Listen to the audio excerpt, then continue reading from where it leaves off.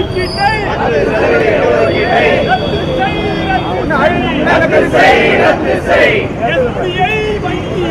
SBI வங்கியா? தினக்கூலி முப்பத்திரெண்டு. ஆண்டுக்கு மேலயா? எட்டு லட்சம் எட்டு- எட்டு லட்சம் ஆண்டு வருவாய். பார்ப்பானுக்கு, பார்ப்பானுக்கு. ஏழையா, வியாழையா? அவனுக்கு தான் வேலையா? திணிக்காதே, திணிக்காதே. திணிக்காதே, திணிக்காதே. ரத்து செய், ரத்து செய். ரத்து செய், ரத்து செய். பார்ப்பானுக்கு, பார்ப்பானுக்கு. இடஒதுக்கீடு கேட்கிறோம். பார்ப்பானே, பார்ப்பானே. மலம் அல்ல வருவியா? பார்ப்பானே, பார்ப்பானே. மலம் அல்ல வருவியா? மலம் அல்ல வருவியா? கொடுக்க தயார்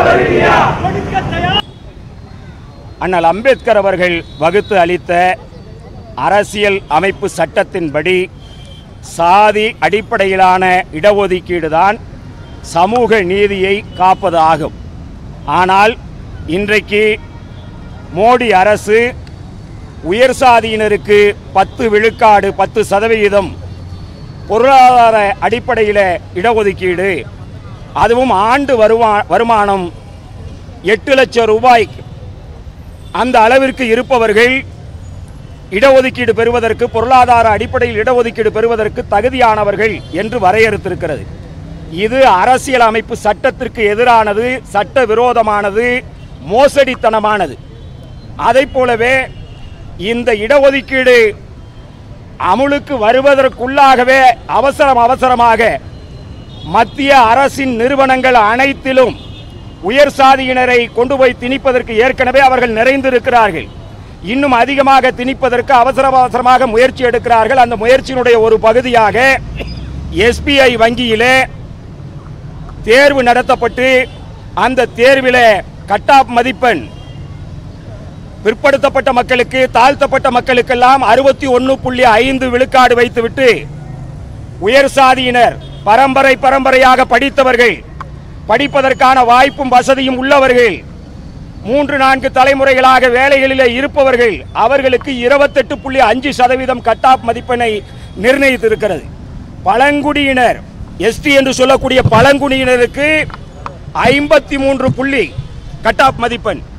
ஆனால் உயர் சாதியினருக்கு அருமை நண்பர்களே இருபத்தி எட்டு புள்ளி அஞ்சு என்று நிர்ணயித்திருப்பது மக்கள் விரோதமானது அரசியல் சட்டத்திற்கு எதிரானது ஏன் இவர்கள் அவசரம் அவசரமாக இப்படி செய்கிறார்கள் என்று சொன்னால் நாளை முப்பதாம் தேதி நாளைக்கு இந்த பொருளாதார அடிப்படையிலான இடஒதுக்கீட்டுக்கு எதிரான வழக்கு நீதிமன்றத்தில் விசாரணைக்கு வருகிறது.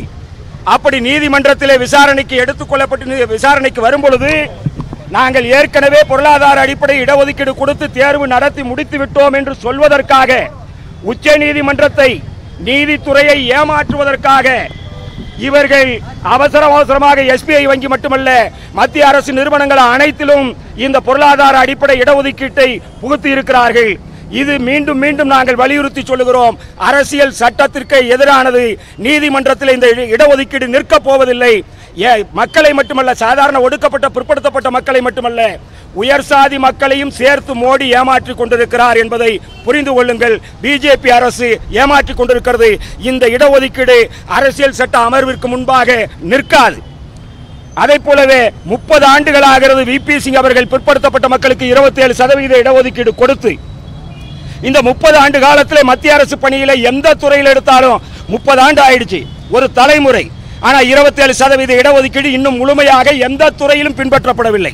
ஆனால் பத்து சதவீத இடஒதுக்கீடு கொடுத்து ஒரு மாதத்திற்குள்ளாக நாடு முழுக்க இருக்கக்கூடிய அத்தனை மத்திய அரசின் நிறுவனங்களிலும் இந்த இடஒதுக்கீட்டு அடிப்படையில் உயர் சாதியினரை பூத்துவதற்கு திட்டமிட்ட சதியை நீதிமன்றத்தை ஏமாற்றுவதற்கு மோசடித்தனமான சதியை பிஜேபி அரசு மோடி அரசு செய்து கொண்டிருக்கிறது. இதை கண்டும் காணாமல் தமிழ்நாட்டில் இருக்கிற எடப்பாடி அரசு வாய்மூடி மௌனியாக இருக்கிறது. ஏனென்று சொன்னால் சமூக நீதி காத்த வீராங்கனை என்று பட்டம் பெற்றவர் அம்மையார் ஜெயலலிதா அவர்கள். அறுபத்தொன்பது விழுக்காடு இடஒதுக்கீட்டை பாதுகாத்து ஆனால் இன்றைக்கு இருக்கிற முதல்வர் அம்மையார் ஜெயலலிதா அவர்களின் ஆட்சி என்று சொல்லுகிற இவர்கள் இந்த பொருளாதார அடிப்படையிலான இடஒதுக்கீட்டை எதிர்த்து வாய் திறக்காமல் இருப்பது ஏன்?